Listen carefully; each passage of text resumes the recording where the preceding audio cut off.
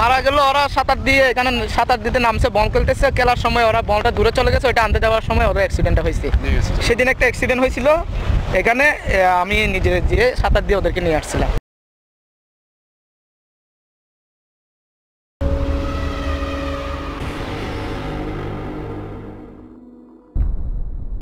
So viewers আজ আমরা এসেছি সেন্ট মার্টিনে এখন আমরা কথা বলব এখানেই একজন কর্তব্যরত একটা সাহসী ভাইয়ের সঙ্গে যে কিনা সর্বক্ষণ আমাদেরকে সেভ করার চেষ্টা করছেন। তো ভাই আপনার নামটা কি? আমার নাম হলো আব্দুল শুক্কুর। আব্দুল শুকুর ভাই আলহামদুলিল্লাহ। আপনি এখানে কতদিন থেকে আছেন?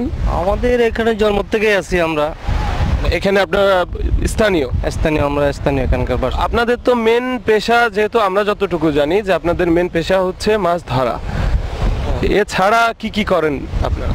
এছাড়া আমি পরিবেশের সাথে কাজ করি, এখানে বীজকর্মী হিসেবে আছি।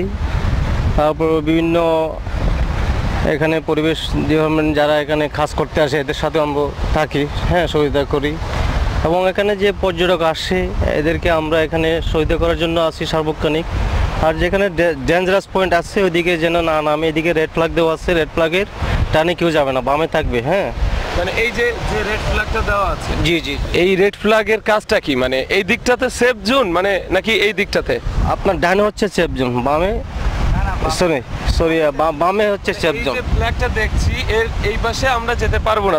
দর্শনার্থী যেতে পারবে না। ওইদিকে- এই দিকটাতে যেতে পারবে। এদিকে যেতে পারবে। এদিকে কি কি সমস্যা এদিকে হচ্ছে আপনার গভীরতা বেশি এবং চূড়াবালি আছে হ্যাঁ? এদিকে চূড়াবালি পানি- আছে। পানির স্রোতটা সবসময় টান থাকে কারেন্ট স্পিড এটা পানি এটা যার জন্য এদিকে যতবার প্রথম মারা গেল দুই হাজার পাঁচে ঢাকা ইউনিভার্সিটি। আচ্ছা। তারপর মারা গেল দুই হাজার এগারো কি বারোতে ঢাকা সিটি কলেজের।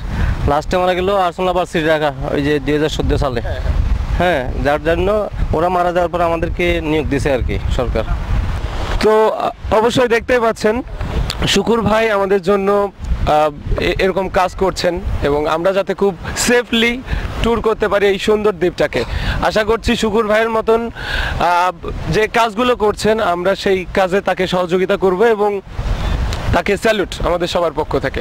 থ্যাংক ইউ ভাই।